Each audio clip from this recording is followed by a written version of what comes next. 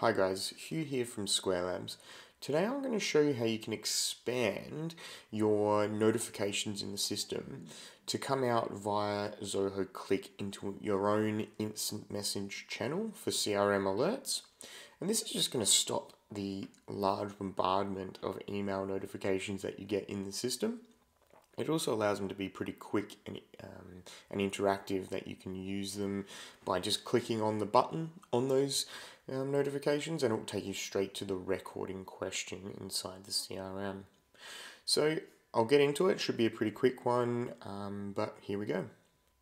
First thing we're going to do guys is we're going to open up Zoho Cliq. So once you're in Cliq you can go up to the settings and we're going to create bots and tools and create a bot inside here, I'm going to name my bot. I'm going to call mine alert bot. And this is just for the CRM alerts. We're just going to create an organization. You know, we're going to allow users to add this bot to a channel so it can send messages. You've got the image, you can change that. I might just put Zoho CRM there. Change it up, make it look a bit better than just those two little eyes. Once you're done, you can click save.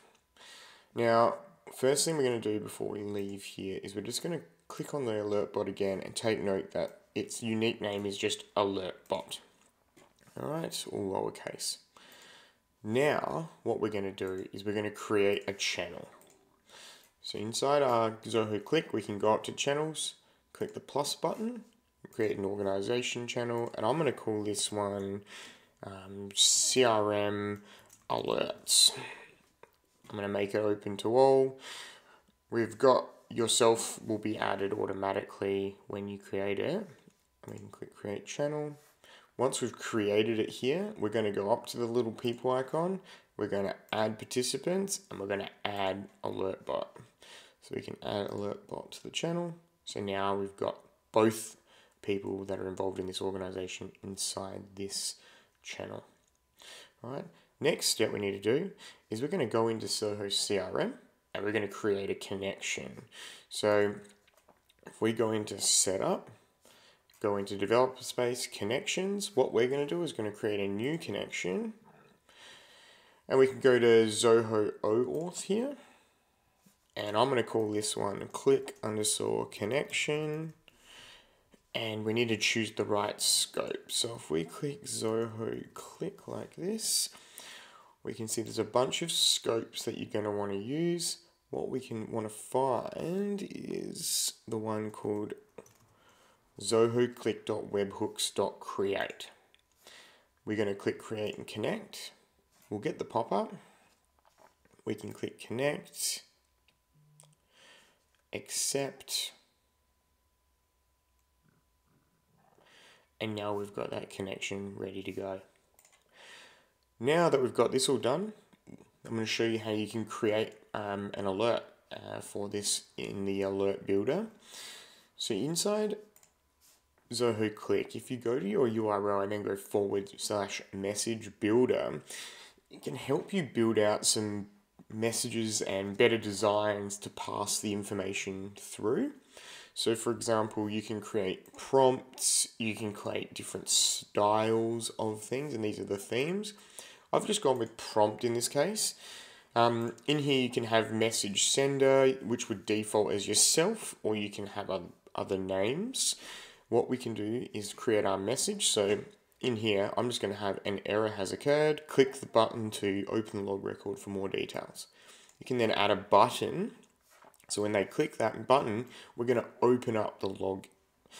Um, inside here, we can also have multiple buttons if you've got multiple actions for your ticket, um, sorry, for your message, and I'll let you play around with it to build it in more detail. Once you've got your button, I just click this little pencil icon. You can change the label of the button, and I've added the URL of the logs module, which is custom module one in my system. Once that's done, we can add the title, which is error, now, thumbnail image here, this is the, um, the image that appears here. What I've done is I've just gone to icons8.com, searched for an error, and then when you find this message, if you just right click on it and click open image in new tab, you can see here that this is the URL up the top. And when I go into my uh, Cliq message, double click that, I can just paste that in there and it just downloads the logo straight from the internet instead of having to store it somewhere. The icon URL is this one here, but we don't need to worry about that because it's going to inherit it from the alert bot. This configurer also allows you to add additional components. So if you want to add things like tables, lists, and all that sort of stuff, you can. Just note that some themes um, don't allow um, lists. So lists can't be done in prompts, but you can do lists in um, basic and um, modern inline. Once you've got your setup or your basic message and you've previewed it through here, what we can do is go view deluge script. And what it's done is it's just created everything we need without us having to write the code. So what we'll do is we're just going to copy this and we can create a function and use this code. So inside functions, what we're going to do is create a new function, and I'm just going to call this one log error to Cliq channel. And I can just have that one here. I'm just going to have the automation as the category type and click create. Now that we're building out this function and it's created, what we can do is add in a few things. So, first thing I'm going to do is I'm going to create a log map and I'm going to get my log ID and I can create the argument for that. Log ID and that's just going to be a string. Save. So we're going to get that log and then my logs have a function name in there so I can notify in the message what function had an error. Once you've done that, if I go back to my message builder, click copy again, I can paste that in here. First thing I'm going to do is I'm going to delete this return response because I don't need it. In here we've got an error has occurred. I'm just going to have and re sorry, I'm just going to rename that to function um, and then I'm going to go bracket plus function name plus. So what I'm doing is passing through the function name here so I know which functions had an error straight away. I've got all type, everything I need. Next thing I'm going to do is, because we're going to be doing that open URL, is inside this URL here at the end, I'm just going to go plus log ID.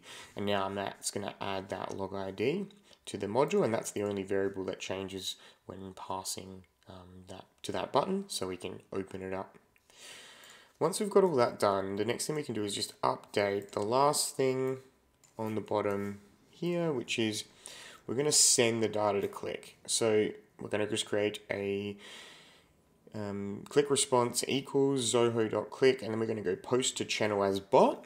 We're going to put in the channel name, which is CRM alerts and we're going to choose alert bot in here and then we've got the response which is all of the data that we're just doing here and then we're going to use that Cliq connection now I'm not sure if I showed you before but if you open up your channel here and go to connectors you can see here the unique name of that channel in Cliq that you'll want to use for your function we've got CRM alerts once that's all done, we can now save this function. And now we're just going to add it to a workflow. I've already got an error log notification workflow that's set up to send me an email notification of any errors.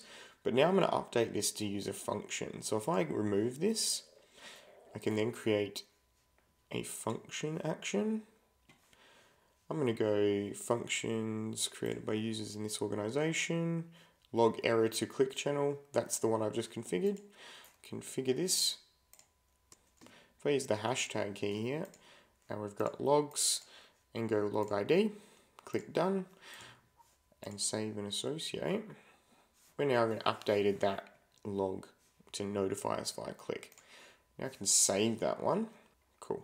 Now, if I go to a deal, and I've got an example here, and I'm going to go merge and send proposal.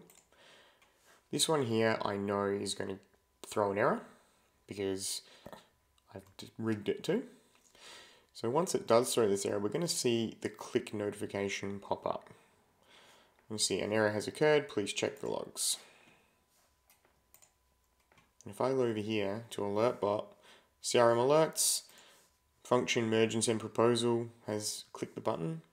If I click that button, it's now going to open up my CRM, go directly through to the log record, and from here, I'll be able to do a bit more investigation. So I've got a message here. So what I need to do is go, hey, let's look into that a bit more, and I can investigate. If you set up your channels and stuff in here, it will automatically pop up inside the bottom of your CRM and that way you get the alerts inside your CRM over using the actual Cliq application. Hope that helps guys. I'm just going to post the code on GitHub that you can then download if you want, but if you want to create your own messages and stuff like that and improve your systems, some good ones are, you know, a lead, lead notifications, just having a little pop up for that in your system as soon as they come in is a great way to expand the functionality of this. Hope that helps. You have a great day.